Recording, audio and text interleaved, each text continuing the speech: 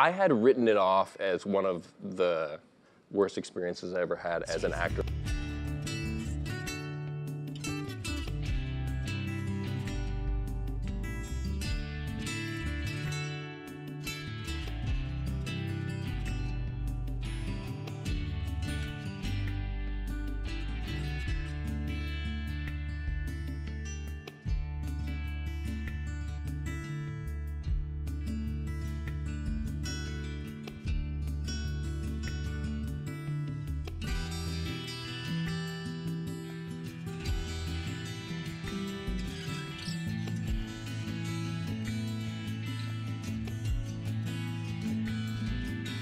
What that means to me. It's about being equal and having the same opportunities, the same representation.